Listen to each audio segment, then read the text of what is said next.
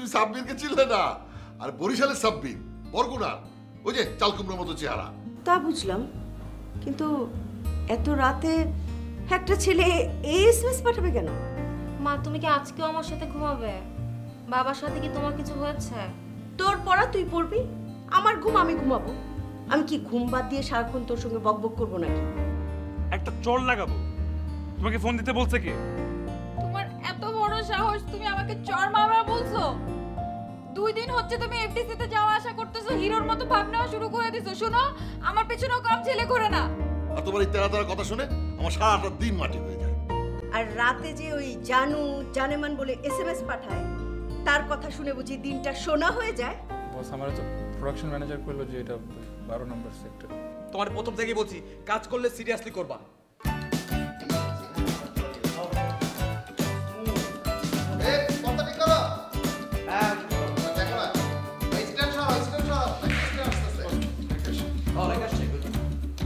O thank you চলে আসছো? দাদা যাও দশ মিনিটের মধ্যে একটু মেকআপটা নিয়ে তাদের চলে আসো হ্যাঁ? আমি সব কিছু রেডি করে ফেলছি তুমি আসলেই শর্ট শুরু। হোয়াট দশ মিনিট? হ্যাঁ। No no no no no no impossible আমি এক ঘণ্টা ধরে রোদে ঘোরাঘুরি করে শুটিং হাউস খুঁজেছি। আপনি দেখেছেন আমার স্কিনটা বার্ন হয়ে গেছে? Two hours at least two hours লাগবে আমার মেকআপ নিতে।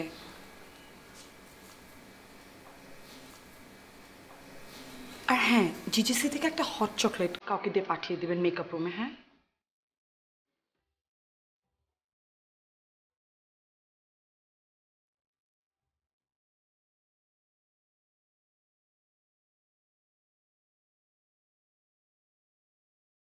জিজেসির হট চকলেট যাও ম্যানেজ করো। এখন বাজে এগারোটা। দুই ঘণ্টা। লাঞ্চের পরে আমি প্রথম শট নিব। খাম্বার মতো এখানে দাঁড়ায় আছো কেন? যাও ম্যানেজ করো।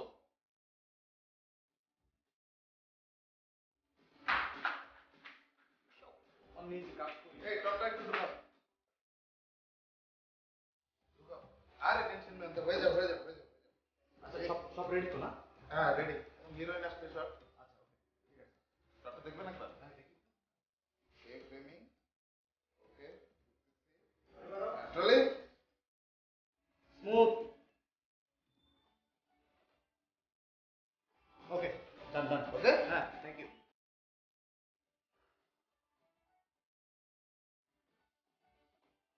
ক্লাস তো শেষ তোদের তো ক্লাস নেই না?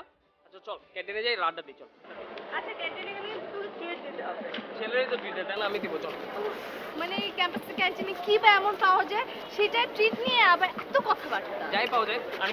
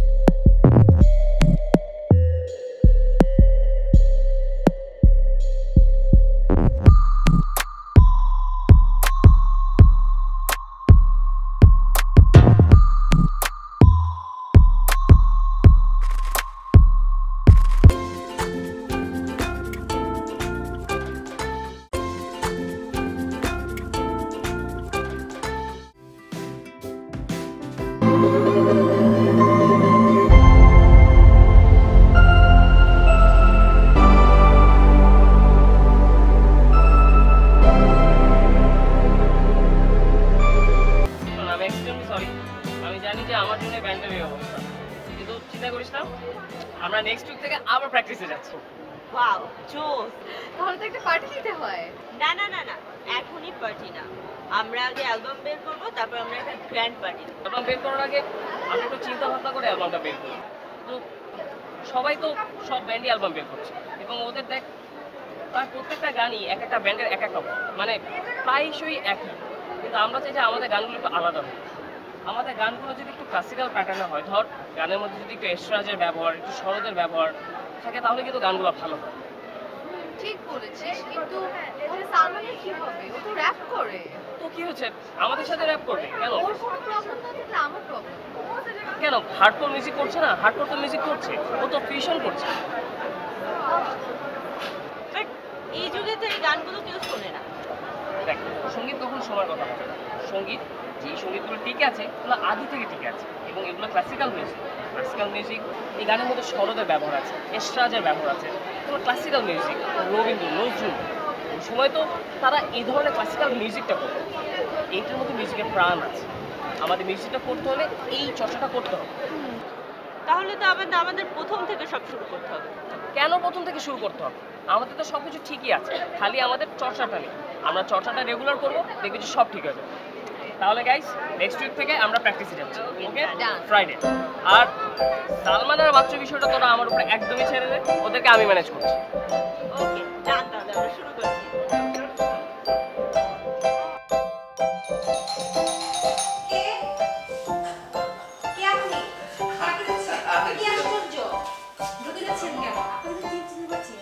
ও হ্যাঁ হ্যাঁ না সেটারই কথা। কারণ আপনার সাথে আমার কখনো টক হয়নি তাই না? আমি সুইজারল্যান্ডে থাকি। এই যে দেখেন জুরিক শহর থেকে এই ঘড়িটা কিনে এনেছি। ভীষণ দামি ঘড়ির আপনি খেয়াল করেছেন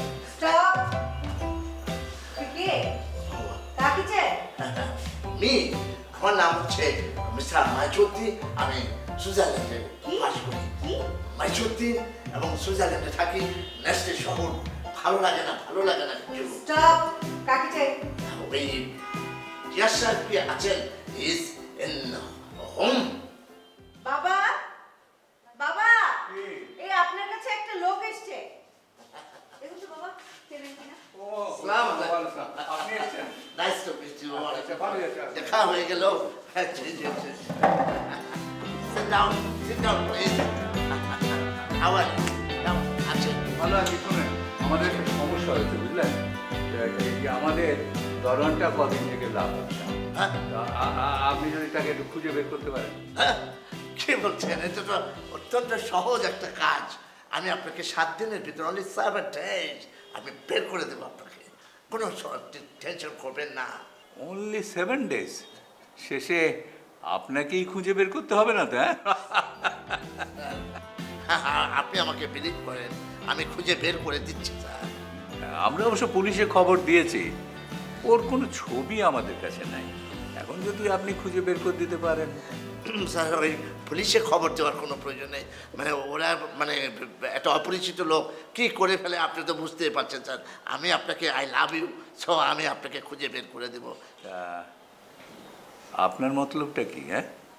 স্যার আমাকে দেখে কি আপনার মতলব পাস মনে হচ্ছে স্যার? ছি ছি ছি ছি ছি ছি। হ্যাঁ আমাকে আপনি ট্রাস্ট করতে পারেন, স্যার। আমি আমি এখন ছাই পরে আবার আসব। আসসালামু আলাইকুম।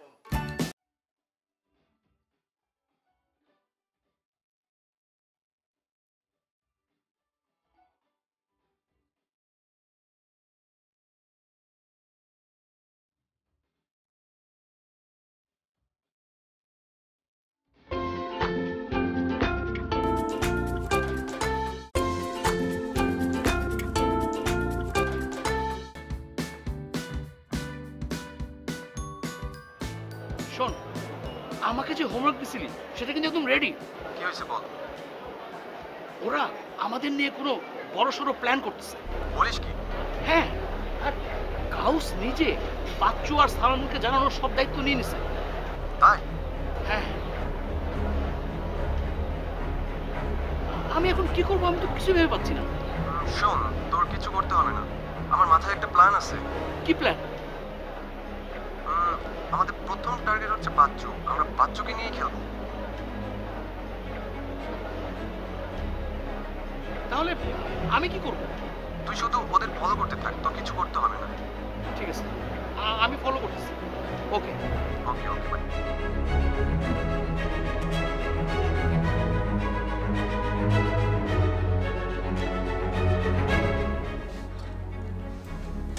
আপনার সাথে? হুম। কন্ট্রাক্ট সাইন করার সময় মনে হয় উল্লেখ করে দিয়েছিলাম যে এই মুভিতে হিরো হয় শাকিব খান নাহলে রিয়াজ হবে তাই না? হ্যাঁ। তাহলে পিছনের নমুনাটা কি করছে? তুমি তো জানো মানে আমাদের ইন্ডাস্ট্রির যা অবস্থা হ্যাঁ আমাদের ইন্ডাস্ট্রিতে তো মানে শিল্পী সংকট তাই না? তো আমাদের তো একটু নতুনদের সুযোগ দিতে হবে। তার মাধ্যমে নতুন নতুন মানে ছেলে মেয়ে উঠে আসবে। মানে আপনি বলতে চাচ্ছেন যে ওকে মানে আমি আমার সঙ্গে কাজ করার সুযোগ করে দিব তাই না? তাহলে আমার ক্যারিয়ারটা যে রিস্কে পড়বে সেটার দায়িত্ব কে নেবে? রিক্সে ফেলে দাও মানে? কেন? তুমি কি আমার সম্পর্কে তোমার ধারণা এই? আমার মেকিং তোমার পারফরমেন্স এটা মিলে একটা আমাদের ক্রিয়েটিভিটিটা অন্য জায়গায় দাঁড়াবে। রিস্ক নেওয়ার কোনো কারণই নেই।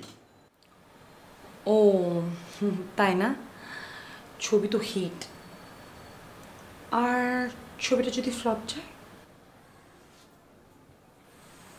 তাহলে আমার যে পজিশন লেভেল মানে যে লেভেলে আমি আছি মানে একদম তো ফল করে যাব তাই না? সেটার কি হবে? ছবি কেন ফ্লপ যাবে? তোমার পারফরমেন্স আমার মেকিং এতে করে ছবি তো হিট জি মানে আপনি আসলে চাচ্ছেন যে আমি প্রডিউসারকে একটা ফোন দিই তাই না? আরে না না না প্রডিউসারকে কেন ফোন প্রডিউসারকে বস ওই যে কফি মানে ওই যে হট চকলেট তো কোথাও পাওয়া যেতেছে না। এখন এখনও চকলেট আরে না কি বলো চকলেট ম্যানেজ হয়ে যাবে। ম্যানেজ করো। হ্যাঁ বস বস আমি আছি তো আমি দেখছি ম্যানেজ হয়ে যাবে না? চকলেট ম্যানেজ হয়ে যাবে। হ্যাঁ হ্যাঁ যাও যাও। আরে ম্যানেজ হয়ে যাবে, যাও যাও ম্যানেজ করো। আরে ম্যানেজ হয়ে যাবে তো চকলেট ম্যানেজ হয়ে যাবে। মানে বিষয়টা হচ্ছে হট চকলেট তো পাবোই না, আর তার উপর আবার এই নমুনাকে নিয়ে আমাকে কাজ করতে হবে, তাই না?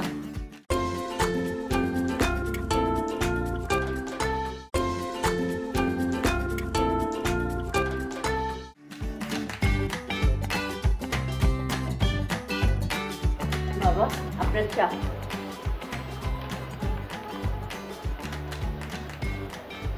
বৌমা। জি বাবা। বসো। তোমার সাথে আমার কিছু কথা আছে। জি বাবা বলুন কি বলবেন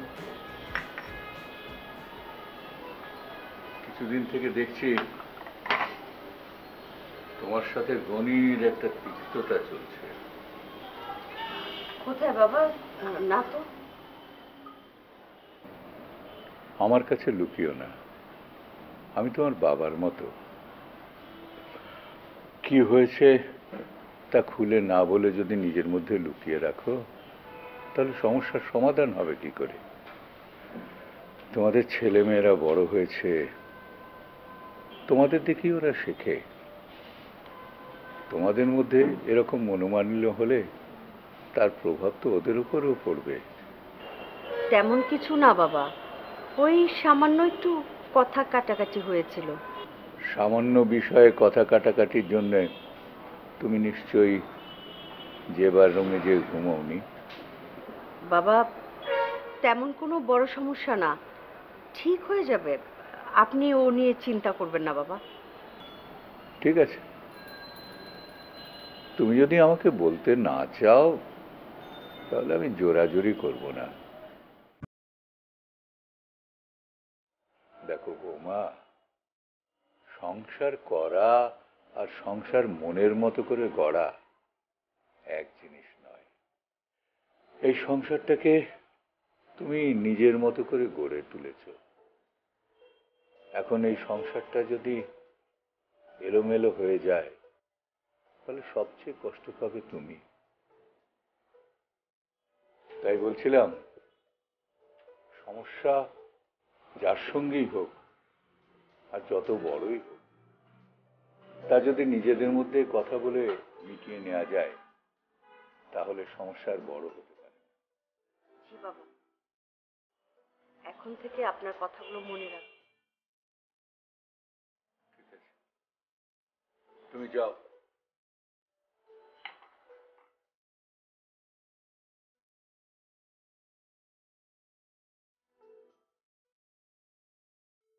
আর আমার ব্যাংকিং শুনেন আপনার এইসব কথাবার্তা আমি শুনতে চাই না। অনেক বলছেন আপনি বুঝতে পারছেন? আপু ম্যাডাম।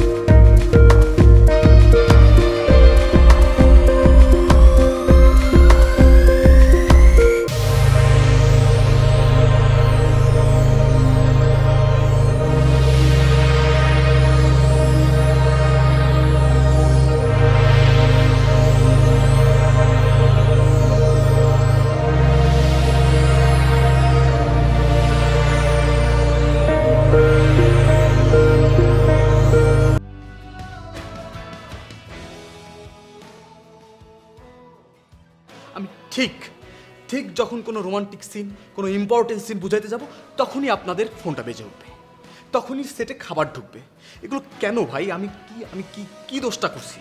আর তুমি কি ঘুম থেকে উঠে একবার ফেসবুকে ঢুকছো? না ঢুকি না তো কিসে তোমার আমি আগে বলছি তুমি যারা বাসার সামনে যাবা না। ওই বেটা আমি তোরে কইছি না আমি কি গেছি? আমি যখন শুটিং এ থাকি ফোন দিবা না। তোমাকে আমি তো বলে আসছি আমি শুটিং আসছি। আর ফোন দিছো ফোন কেটে দিছি মানে আমি ব্যস্ত আমি ফ্রি ফোন দিব না? বাপরে।